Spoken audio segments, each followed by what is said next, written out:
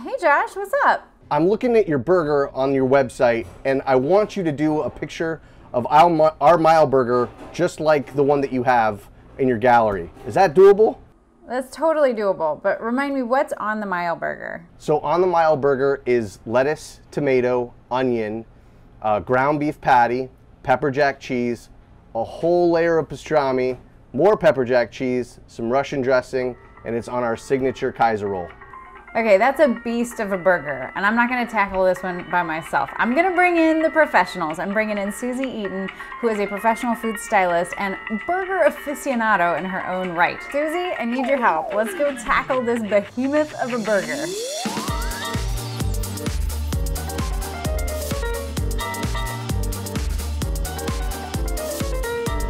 All right, we've got all the gear loaded in already and we're here before opening, which is super nice because then we're not disturbing anybody. So let's go ahead and head on back. What's really nice about this restaurant is they've got a big catering area in the back where we can totally take over so we don't have to worry about like dealing with little corners of the restaurant. So let me go ahead, take you back there and introduce you to Suzy.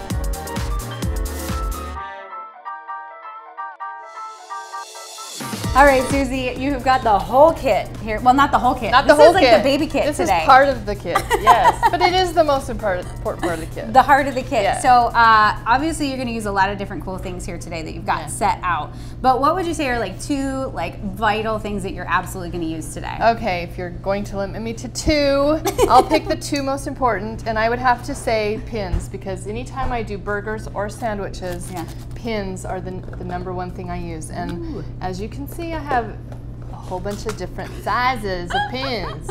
There are all kinds of pins. I so I it. have little tiny short pins because sometimes I, uh, what I'm using it for will poke through the other side, and we don't want to see that. Right. I have a little bit longer ones for um, getting a little deeper, but Who so knew there were so many different sizes? And where do you find these guys? I usually get them at the craft store or the fabric store. Ah, Yeah. gotcha. Same thing with skewers. They do the same thing. Skewers and toothpicks I will use for the for the same kind of thing. And when the when the burger's completely done, I usually put a skewer all the way through it. Okay. To hold it together, especially if you have talent that's holding the burger. Oh, It yeah. has to have lots of skewers in it because it will just slide all Okay, well we're gonna get a pin count by the end of the video because Yes. I want to know. And I have to always take that burger and throw it away right away because I literally will have people that will come and take it and try to eat it. Ah! And I can't have people Mouthful eating, of pins. Eating not pins, good. no good, Not no good. All right, and one more thing. One more thing, I'd have to say my heat gun Aw. because you know you have to have cheese.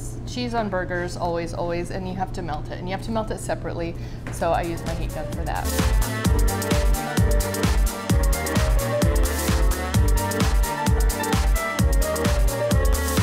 So we talked about when we talked on the phone what we had like a vision for the images. Yep. So that kind of vision, just tell me back a little bit about like what you had in mind. Well, I mean, I've seen your work before. So um, there's a lot of different styles, and every restaurant owner has a different vision of what they want their food to look like.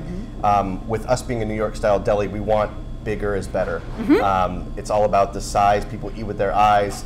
With our uh, buffet line, people have to see what they eat, um, or else they're not going to order it. Yeah. It's, it's all right there in front of them. So when they're looking at it on your menu board, we want it to be overly dramatic. We want it to be big. We want it to have that kind of look of, oh my goodness, I want to eat that now.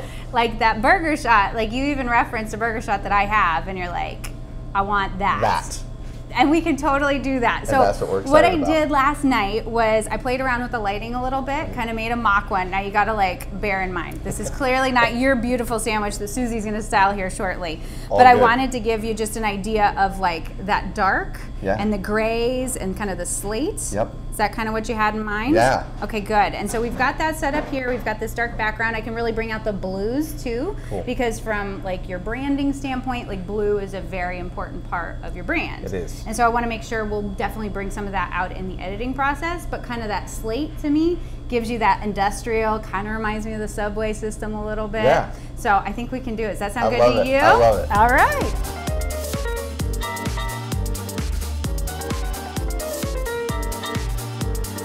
Okay, Josh, so we're making this amazing burger today. So what I would need you to do first uh, is make me one Okay. so I can see what it looks like. Right. And then what we'll do with that is we'll put it in on set so Joanie can get her lights right, and then I'll build it according to the, the layers that, and how they go. But what I'd like for you to do is bring me some bun options because we will go through those and pick the best of the best. Okay. Um, also, when you make the burger, if you'll undercook it for Okay. me, and then I'll brown it up as I need to. But you know, the, you know that the more you cook it, the more it shrinks down. Absolutely. We want that to look nice and big. So Awesome. those are the things I really need to do. Um, we'll go through some of the garnishes. We'll we'll look at your tomatoes and the lettuce. I brought some too because sometimes you can't control what shows up at your back door, and sometimes they're a little pink. So I brought some things for that too. So Fantastic. that's where we'll start. I love it.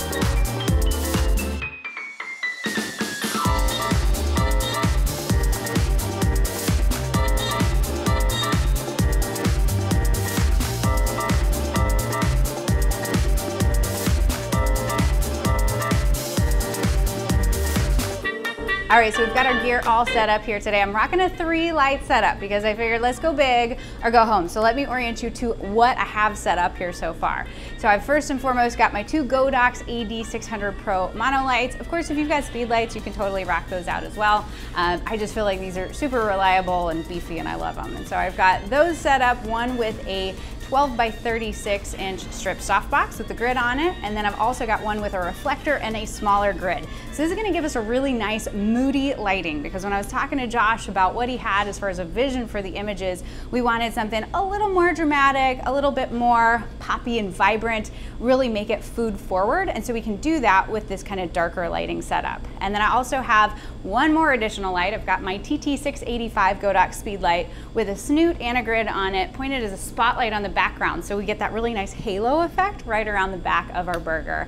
And then I'm shooting with the 5D Mark IV here today. I've got my trigger mounted and a 100 millimeter macro lens. Now we're not necessarily going to take advantage of the macro aspect of this uh, because we don't necessarily need to get super up close, but I really like the compression you get on the 100 millimeter. If you want to know more about why 100 millimeter is a favorite lens of food photographers, check out the video that I've got linked down below from Dennis the Prescott. Super informative. And you'll see I'm also shooting tethered today, which is super helpful anytime you're collaborating with other people. Of course, I've got Suzy here doing the food styling, and I've got Josh who owns the restaurant. And so we all want to be able to look at the images and know we've got exactly the right photo before we pack it up and leave.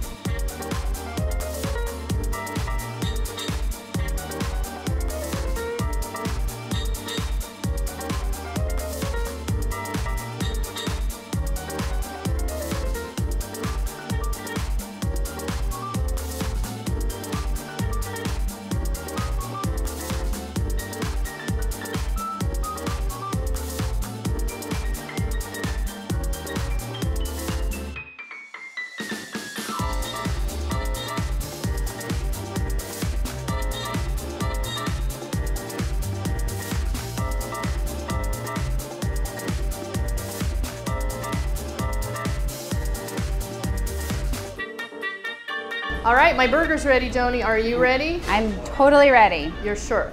I'm, I'm, I'm sure I'm ready. Okay, because I'm ready, and if I, and the cheese is ready, so we need to make sure you're ready. I, and 100%, if you're gonna tell a food stylist that you are ready to shoot, you better be ready because they don't wanna put it now in the set. After she's worked for like a good 20 minutes on making this the perfect burger, we don't want it to get on set and get sad. So if you're gonna say you're ready, you better be ready.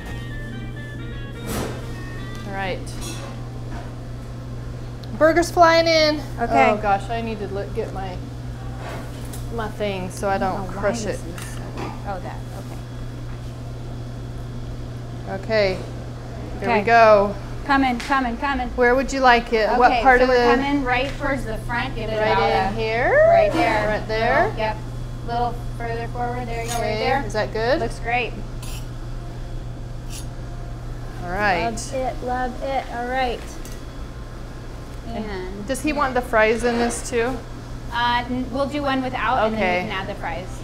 Because I figure if we need to, we can do a composite Sure, so sure. that we get the burger looking absolutely Yep. primo.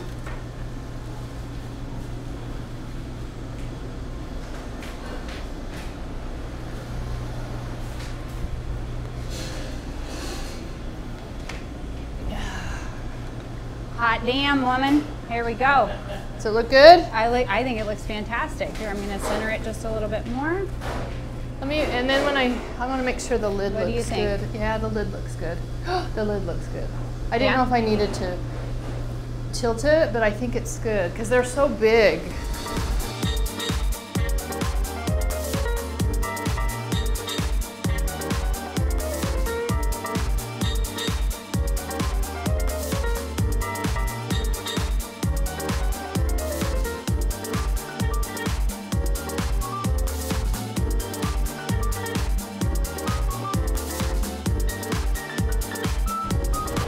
Right, Josh.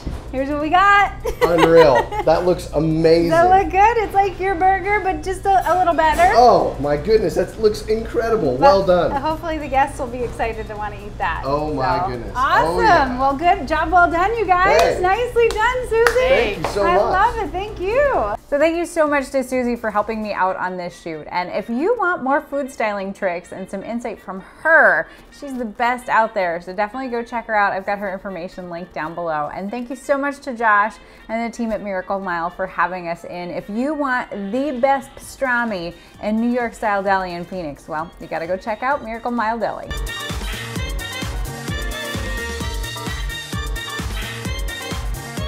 And you'll see I'm also shooting tethered today, which is super helpful because I'm working with multiple people. Not only have I got Suzy, but I've also got Josh. And so we all want to be able to look at the images and see what we're going Llama remix. I like to go fast because YouTube likes it fast. They do me three times X. No, no, no. Perfect. We're like super candid. Look at us being candid. Hey!